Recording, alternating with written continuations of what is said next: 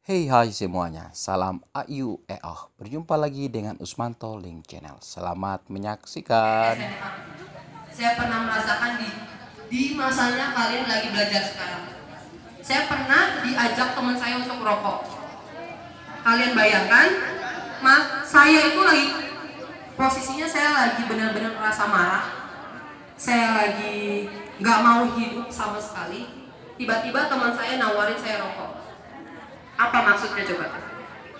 Mereka pikir rokok itu atau narkoba itu membuat semua masalah hilang. Enggak. Malah masalah itu makin tambah dan makin banyak, benar?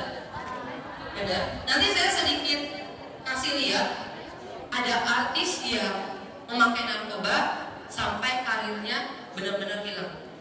Oke, itu saya balik ke cerita saya.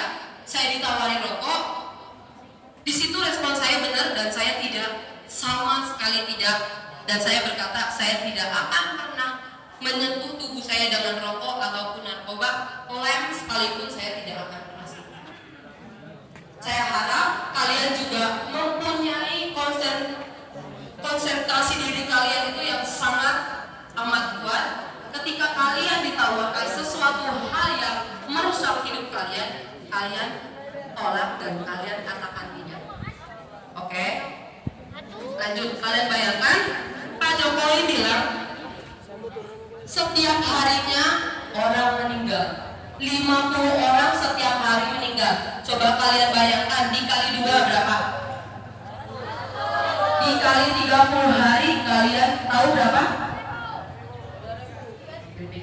Oke, saya nggak akan nanya jumlahnya, tapi kalian bisa membayangkan berapa banyaknya orang akan meninggal karena narkoba. Setahun belum terhitung. Tadi kita nggak hitung setahun kan? Masih masih sebulan aja sudah ribuan. Gimana satu tahun? Mungkin mungkin kalau setiap harinya orang meninggal karena narkoba, semua uh, semua orang di Indonesia mungkin lenyap, benar? Benar?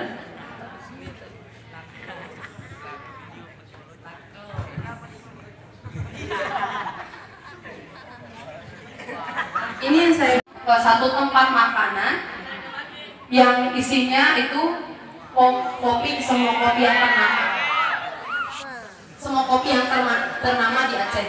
Teman saya minum kopi, akhirnya tiba-tiba dia pingsan, bukan pingsan, mabuk sampai akhirnya dia nggak bisa bangun.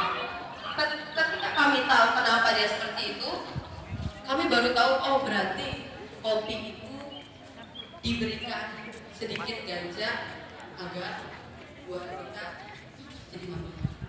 Saya baru tahu, baru tahu ketika teman saya mau coba kalian bayangkan di kota Aceh itu Indonesia. Rempah salah satu rempah yang dia pakai adalah ganja.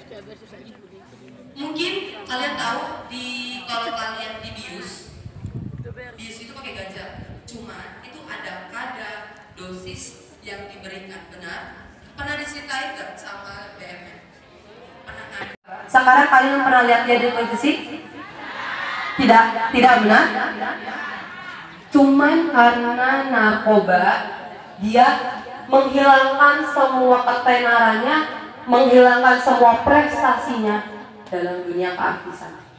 Coba kalian bayangkan, dia seorang artis memakai narkoba, akhirnya dia masuk penjara, semua kekayaannya semua yang dia miliki hilang. Mungkin dia masih hidup, mungkin dia masih bisa makan, tapi orang menganggap dia rendah. Karena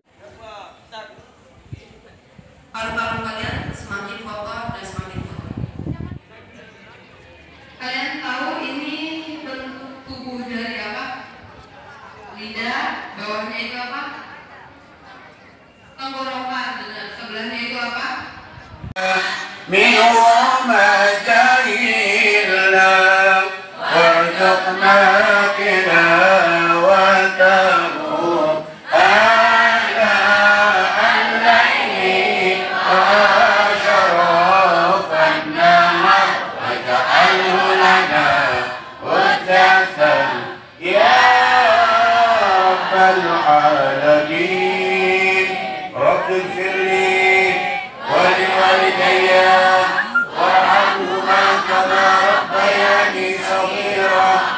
ربنا آتنا في الدنيا حسنة وفي الآخرة حسنة وقنا عذاب النار